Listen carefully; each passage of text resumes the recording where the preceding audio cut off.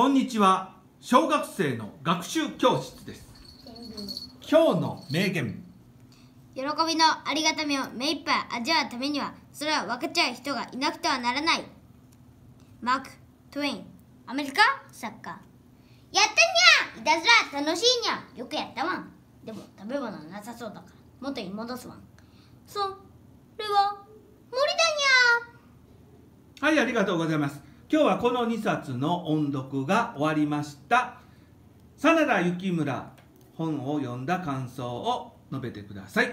大阪冬の陣の時に徳川軍がどうして真田丸真田丸の罠に気づかなかったのか不思議でした。なんで不思議だと思ったんですか？普通雪村のことだから罠の罠もあるはずなのに突進していったからうん。では徳川家康の本を読んだ感想を言ってください。大阪の陣の時俺っちだったら兵糧攻めだ。徳川家康。姉川の戦いの時に本田忠勝が一気で突進していって俺はそんなもん怪我してないとと言った。そりゃそうだと思った。理由は自分の軍に本田忠勝は守られていた。はいありがとうございます、えー現在、えー賢くなるパズルは四則の中級の496苦戦中です。そうです。頑張ってます。ではここちら側の文章を読んでください。小学生の学習教室暗唱素読学校古事記偉人伝論語短歌など右動空間論理的思考ドリル。飛び続けるこの共通点。将来 AI ロボットがますます人間に代わって労働する世の中で人間に求められるのはロボットにできない。気遣いなんです。人間関係では自発的な協力が大切です。賢いことは受験偏差値の高い子ではありません。に挑戦できる子。他人を応援できる子。自分の意見を言える子。素直な子です。そういう子は伸び続け。ます。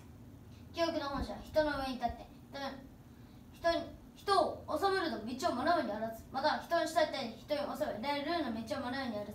一個人の主観を伝え持って社会の義務を尽くそうです交渉の成長を作ることにある。チェンジング!一つ人を分けてアドック受ける心を持つ意志一つ最終規制が臨床がバラスよくしとい実践する能力を持つ意志一つ科学的思考に基づい判断力問題解決力を重ねて意志一つ国際的視野人類貢献する高くございしを持つ意志一つ真の原因量ニーズに応える意志 Try not to become a man of success but rather to become a man of value 成功者になろうとするのではなく価値ある人間になろう Enjoy the little things 小さなことを楽しもう。No one has ever become poor by giving.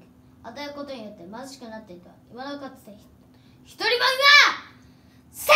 はいありがとうございます。自衛官募集しております。ではホワイトボードの文章を読んでください。地頭力って鍛えられるのか？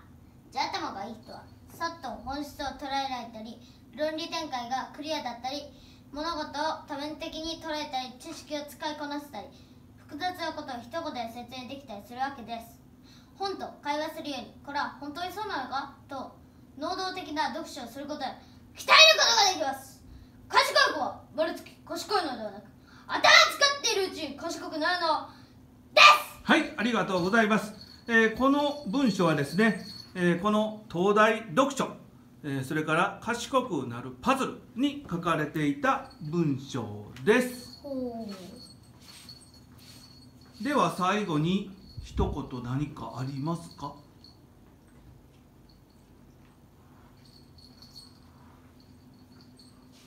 ありません？